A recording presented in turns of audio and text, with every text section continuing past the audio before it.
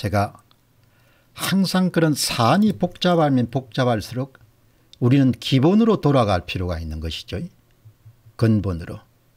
지금 대한민국의 선거 부정 문제도 근본을 잃어버린 거 아닙니까 기본을. 선거란 것이 뭐가 그렇게 복잡합니까 예. 표 던지고 현장에서 뭡니까 개수하고 더해가지고 발표하면 되는 거 아닙니까 그걸 엄청나게 어렵게 만들어 놓은 거죠. 검증 자체가 불가능하게 선거인 명부 없이 투표를 하는 그런 데가 어디 있습니까? 아니 사전투표 현장에 선거인 명부 갖고 당일 투표처럼 뭡니까? 사람 오면 체크하고 사인하고 그렇게 하면 이런 문제가 발생할 수가 없지 않습니까? 선거의 기본을 다 뭡니까? 망각하거나 다 그것을 그야말로 쓰레기통에 던져버렸기 때문에 문제가 발생하는 거지 않습니까? 대통령이 뭐 하는 사람입니까? 제가 궁금해 가지고 여러분 대통령이 뭐 하는 사람인지. 그럼 윤석열 대통령이란 사람이 부정선거에 대한 부분에 그냥 침묵하고 그냥 깔아뭉기도 되는지 그거를 한번 내가 이해하고 싶어서 대통령 책무가 어떤 것인지 한번 살펴봤습니다. 대통령이. 대통령이 뭐 해야 되는 사람인지 자기 마음대로 그걸 수사 안 해도 되는 건지 그게 궁금한 겁니다. 아마 여러분들도 궁금할 겁니다. 대통령이 뭐 하는 사람인지 여러분 사업하는 사람들은 간단하지 않습니까 자기의 책무가 고객에게 최고의 가치를 제공하고 거기에 대한 보상을 받는 것입니다. 보수를. 예? 아마 오늘 이 방송을 들으시는 분들은 모든 분들이 자신의 직무와 관련해서 자신이 무엇을 해야 될지 역할에 대한 명확한 인식이 있을 겁니다. 대통령이 뭐 해야 되는 사람입니까? 여러분 대통령이 뭐 해야 되는 사람이죠? 여러분 대통령의 책무란 것은 명확하게 정리가 되어 있습니다. 대통령은 세금으로 먹고 사는 사람이지 않습니까 선출직 공직자입니다. 제왕이 아니에요. 대통령이 뭐 해야 되는지 대한민국 헌법은 명확하게 가르치고 있습니다. 대한민국 헌법 제66조는 대통령이 뭘 해야 되는지를 정확하게 규정하고 있습니다. 대통령의 책무를 정확하게 규정하고 있는 것이죠. 부정선거 문제에 대해서 뭉개는 것은 대통령의 책무를 위반하는 겁니다. 한번 보시죠. 명확하게 정리가 되어 있습니다. 대한민국 헌법 제66조 대통령은 국가의 원수이며 외국에 대하여 국가를 대표한다. 두 번째가 중요합니다. 대통령은 국가의 독립, 영토의 보전, 국가의 계속성과 헌법을 수호할 책무를 진다. 여러분 대통령은 헌법을 수호할 책임을 진 사람입니다. 헌정 질서가 위협받게 되면 그 위협 세력에 대한 부분을 수사하고 관련자를 색출하고 그와 같은 세력들을 격퇴해야 될 그런 책임이 누구에게 주어졌는가 하니까 대통령에게 주어진 겁니다. 우리 헌법 제66조는 대통령이 무엇을 해야 되는지를 명확하게 규정하고 있습니다. 대통령은 국가의 독립과 영토의 보전 국가의 계속성과 헌법을 수호할 책무를 지는 겁니다. 사전투표를 조작해서 부정선거를 반복적으로 저지른 것은 헌법을 뭡니까 완전히 와해시킨 헌정질서를 뭡니까 무너뜨린 행위지 않습니까 그런 행위를 인식하거나 인지한 상태에 수사를 안 한다 그럼 대통령이 물러나야 되는 거죠. 왜 대한민국 헌법 제66조는 뭡니까 대통령의 책무를 명확하게 이런 규정하고 있는 겁니다. 제가 궁금했습니다.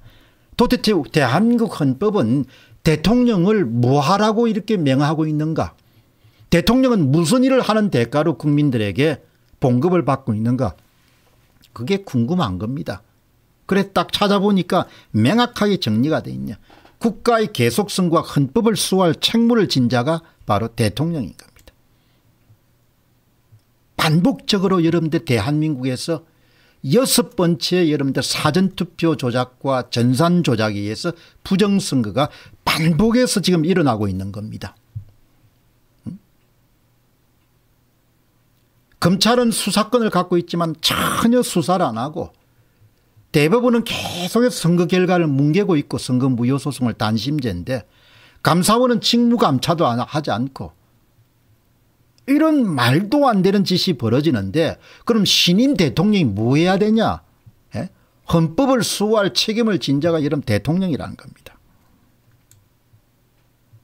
그러면 국민들은 세금을 내고 국방의 의무라든지 여러 의무를 하는데 그럼 대한민국 국민들은 도대체 어떤 종류의 권리를 갖고 있느냐 그것은 여러분들 대한민국 헌법 제1조에 국민 주권주의에 명확하게 이름 정리가 되어 있습니다.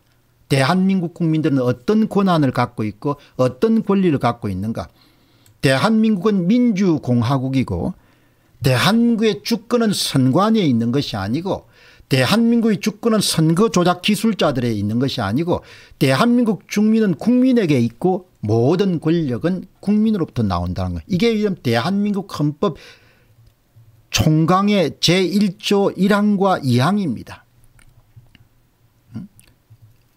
박상규님 말씀이 백날 경제 경제 외쳐봐야 부정선거 바로 안 잡으면 나라는 개판이지 대통령이 나발이고 뭐고 없다는 거 아닙니까 모아님이 부정행위 중에 가장 큰 부정행위는 부정선거다. 수능 부정행위에 비할 바가 아니다. 그런데 수험장에 휴대폰을 가지고 들어가기만 하면 보여도 시험 자격을 박탈하잖아. 그런데 부정선거는 당신들 어떻게 처리하는 거야 이렇게 이야기를 하는 겁니다. 예? 대한민국의 주권은 국민에게부터 나와야 되지 대한민국의 주권이 선관위 여러분들 프로그램으로부터 나오는 게 돼서 안 된다는 겁니다. 예? 그게 한 번이 아니고 여섯 번째 반복이 됐는데 그거를 윤석열 신임 대통령이 그냥 깔아뭉개겠다 그건 말이 안 되는 거죠. 예, 그거는 그거는 대통령이 직무를 유기하는 행위이기 때문에 그건 대통령이 탄핵감이 되는 거죠. 대통령이 자기를 안 했으니까 탄핵을 시켜야 되는 거죠. 그런 사안 정도로 심각한 사안인 겁니다. 대한민국 헌법 제1조 1항과 2항은 국민 주권주의를 명확하게 정의하고 있습니다. 주권이 국민에게 있고 권력은 국민으로부터 나와야 된다. 이 부분을 명확하게 정리를 하는 겁니다. 그런데 여러분들 전산 조작을 해가지고 프로그램을 이용해 가지고 선거를 훔치는 일이 2017년부터 시작이 돼 가지고 지금까지 반복되지 않습니다. 여섯 번째 기가 찬 일이죠. 예. 제가 무슨 거짓말을 합니까 아니면 무슨 과장을 합니까 아니 나라가 어떻게 된 건지. 선거가 선거 때마다 뭡니까? 사전투표를 조작을 해가지고 당선자를 만들어내니 이게 도대체가 뭡니까? 정신이 바로 바뀐 사람은 그걸 보고 어떻게 할 수 있겠습니까? 침묵해서 되겠습니까?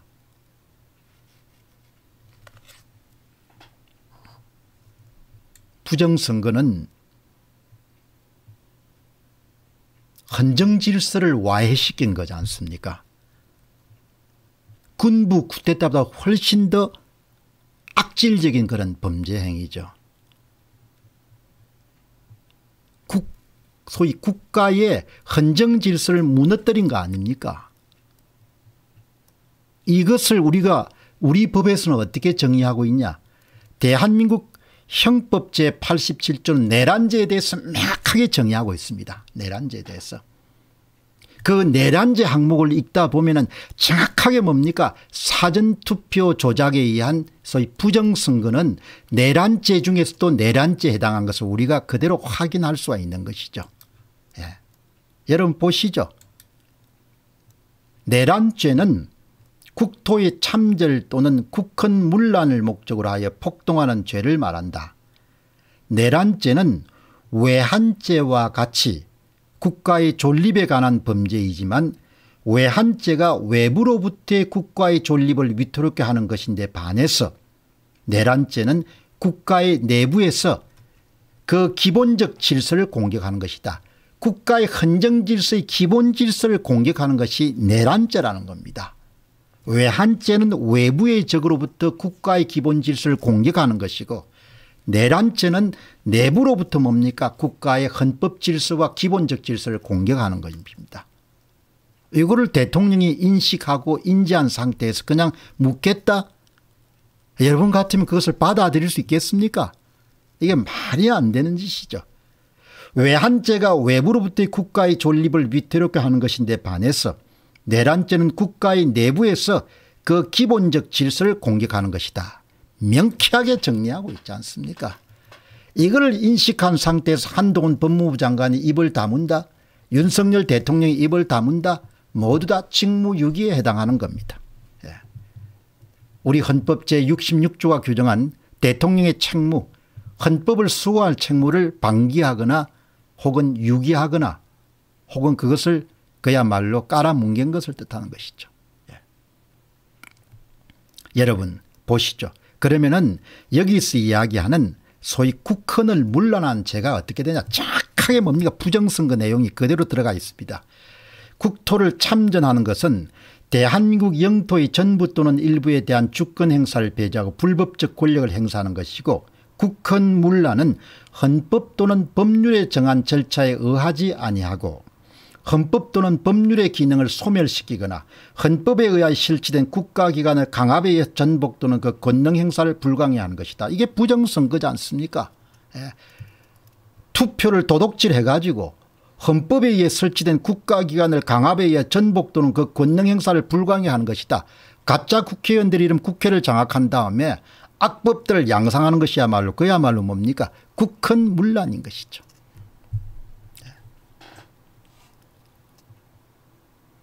여러분들 더 이상 설명이 필요 없지 않습니까 내란죄는 헌정질서 파괴 범죄로서 이 죄에 대해서는 헌정질서 파괴 범죄의 공소시효 등에 관한 특례법에 따라서 공소시효가 적용되지 않는다. 공소시효가 없다는 겁니다. 공소시효가.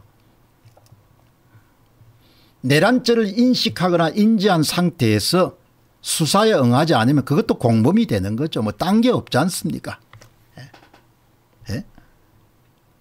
공소시효가 없는 법이라 범죄라는 겁니다. 이 법에 대해서 여러분들 첫 번째 사례가 대한민국 대법원은 5.17 내란 사건에서 전두환 노태우 정호영 주영복 이휘성에게 내란 모의 참여죄 내란 목적 살인죄를 선고했다. 대법원 판결문 한번 읽어보시기 바랍니다. 그 내용 보면 은참 우리에게 시사하는 바가 큽니다. 국민주권주의 자유민주주의 국민의 기본권 보장 법치 등을 국가의 근본 이념 및 기본 원리를 하는 헌법 질서를 수립한 이래 지금까지 한결같이 그대로 유지하고 있는 터이므로 군사 반란과 내란을 통하여 이건 뭐 다른 말로 하면 부정선거를 통하여 정권을 장악한 이후에 국민투표를 거쳐 헌법을 개정하고 개정된 헌법에 따라서 예, 국회를 통해서 이렇게 각종 법을 개정함에 따라서 국가를 통치해 왔다고 하더라도 그 군사 반란과 내란을 통하여 새로운 법질을 승립한 것이 할 수 없으며 헌법에 정한 민주적 절차에 의하지 아니하고 폭력에 의하 헌법기관의 권능 행사를 불가능히 하거나 정권을 장악하는 일은 어떠한 경우도 용인될 수 없다. 이게 군사 반란에만 해당하는 것이 아니고 부정선거에서 그대로 적용될 수 있는 겁니다. 네. 오늘 희망님 말씀처럼 부정을 바로잡지 못하는 정부라면 정의란 단은 무색해집니다. 우리 국민은 썩어 빠진 이 나라를 바로잡아 주길 바라는 대통령을 뽑은 것입니다. 예. 김현숙님은 윤석열 대통령이 그냥 넘어갈 일이 아닙니다. 장평환님은 경기도지사 선거 100% 부정선거입니다.